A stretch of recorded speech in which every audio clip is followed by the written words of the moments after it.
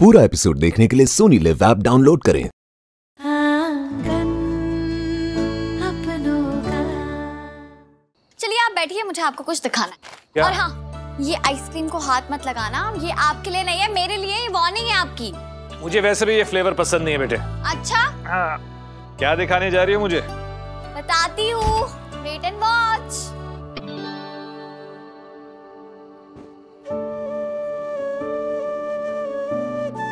तो ये तो तन्वी की विदाई का वीडियो है। कितनी बार देख चुका हूँ।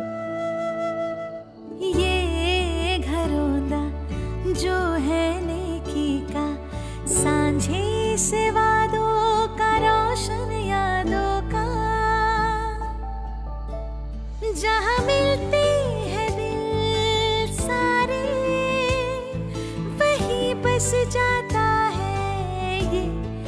शहर सपनों का।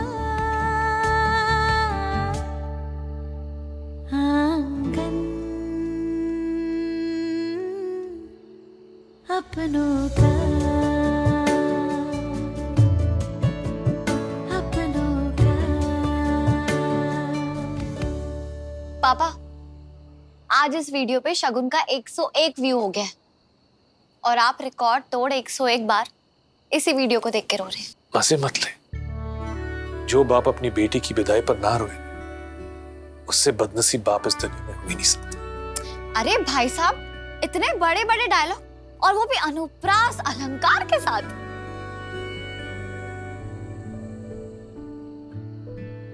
पापा आपको ये वीडियो दिखाने का मुद्दा ये था कि ज़रूरी नहीं है ना कि ये शादी विदाई वाला ड्रामा हो। नो शादी नो विदाई नो रोना। कृपया करके आस्था से कहना। Account delete. Please. Aastha account delete delete delete. बात हमारी पक्की dot com. Account deleted. Thank God. ये देखिए। अब देखना। तन्वी का देवर तन्वी को गाड़ी में बिठाएगा और गाड़ी का टायर पंक्चर निकलेगा। ऐसे तन्वी के देवर का नाम क्या है? अभी। दिखने में कैसा है? अच्छा। आर यू सीरियस मतलब अरे यार। मैं समझ सकता हूँ तुम्हारे मन में क्या चल रहा है।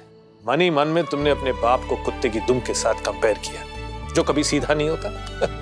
बेटे तुम जो सोचती हो ना मैं सब सुन सकता हूँ क्योंकि मैं तुम्हारा बाप हूँ।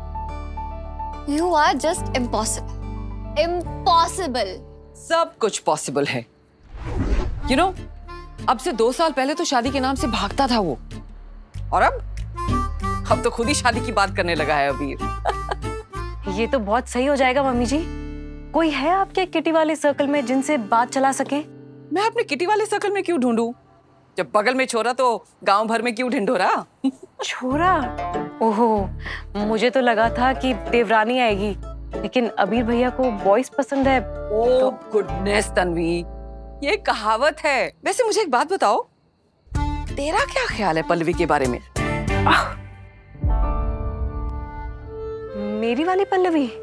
ऑफ़ कोर्स तेरी वाली Pallavi. Oh come on Tanvi बेटा तू मेरी बहू नंबर वन और पल्लवी? बहू नंबर टू वाओ इनफैक्ट मैंने तो अभी रिश्तेदारों को बोलना शुरू कर दिया है। इस बार वो यूएस से आएगा तो मैं उसकी शादी बस तन्वी। तन्वी। जी आई।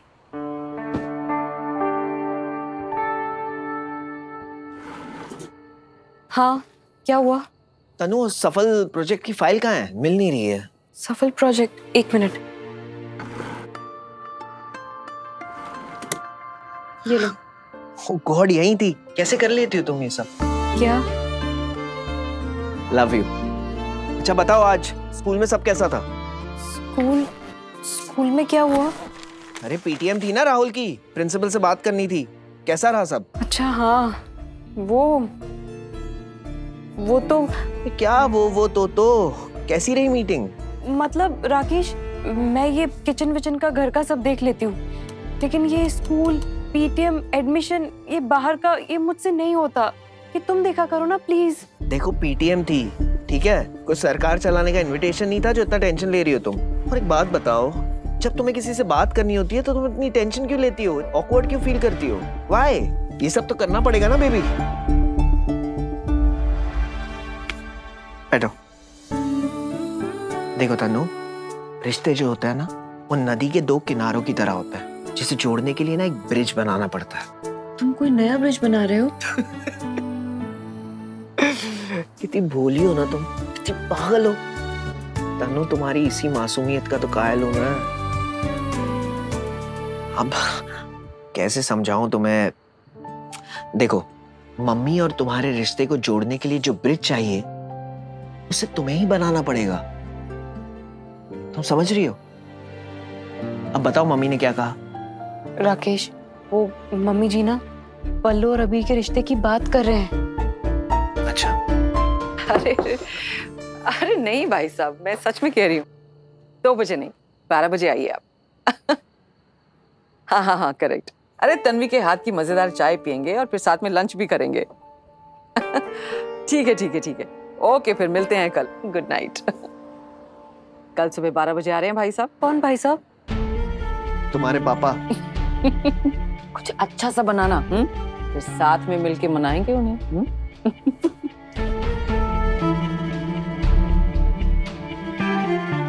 पापा क्यों आ रहे हैं? ओह, पल्लू अभी के रिश्ते की बात करने। राकेश प्लीज़ तुम कुछ करो ना। पल्लो मार डालेगी मुझे। और अगर तुम नहीं मानी ना तो मम्मी मार डालेगी तुम्हें। अब क्या करोगी तनु रिश्तों के इस भावर से कैसे निकलोगी? अरे रिलैक्स करो बाबा। देखो तनु अगर अबीर और पल्लू का रिश्ता तुम्हें सही मैच नहीं लग रहा है तो ये बात तुम साफ़ साफ़ मम्मी से कह दो ना, इसमें प्रॉब्लम क्या है? लेकिन तन्नू कैसे बोलेगी? उसे तो बोलना आता ही नहीं। लेकिन बोलना पड़ेगा तन्नू, बोलना पड़ेगा। दिल की बात को दिल में मत रखा करो, सीधा बोल दिया करो। बोलने से दिल हल्का होता है, और ये जो घुटन महसूस करती हो ना तुम, वो भी तुम्हें नहीं होगी। हम्म?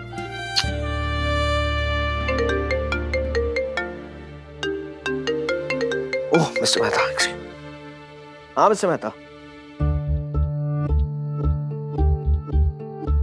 इससे पहले कि पल्लू मेरा सर फोड़े मुझे उसे बताना होगा।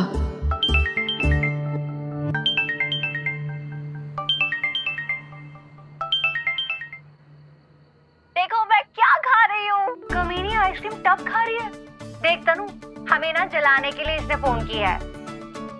दी इतनी यम्मी है ना नटी फ्लेवर और पापा ने ना साथ में वेफर्स भी दिए हैं। ये इतना मत जला। देखना सुबह तक ना तेरा पेट खराब हो जाना है। हम्म, चलो मत चलो मत मैं आपके लिए भी कल भेज दूँगी।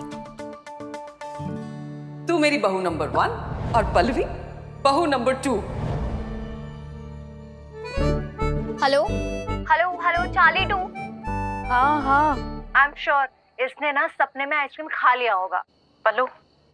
सुनना हम्म हम्म बोलो। वो ना मम्मी जी कह रही थी कि तेरी क्या कह रही है आपके हिटलर सास? एक सेकंड एक सेकंड कहीं कहीं आपके लिए रिश्ता तो नहीं ढूंढ रही? मेरा नहीं मेरे ख्याल से ना कल राजमा चावल। हाय पल्लवी। Hi aunty. नमस्ते। कैसे हैं आप? मैं बढ़िया बेटा। तू ठीक है? हाँ हाँ एकदम ठीक। तनु क्या हुआ? तेरा मुँह क्यों सूजा हुआ है? पता नहीं यार ऐसे ही थोड़ा हेडेक हो रहा था बस इसीलिए। एक सेकेंड कौन मैसेज कर रहा है? कौन गधा सुबह साढ़े सात बजे बुलाता है?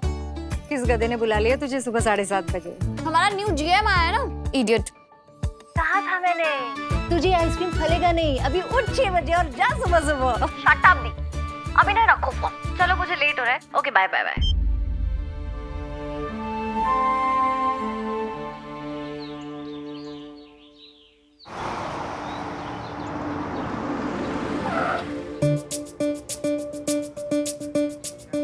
good morning यार सुबह सात बजे कौन बुलाता है? इंसान है या मुर्गा?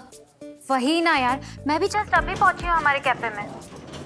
दिस इज़ टू मच यार रुचि नया जीएम है ना तो इम्प्रेस करने की कोशिश कर रहा है।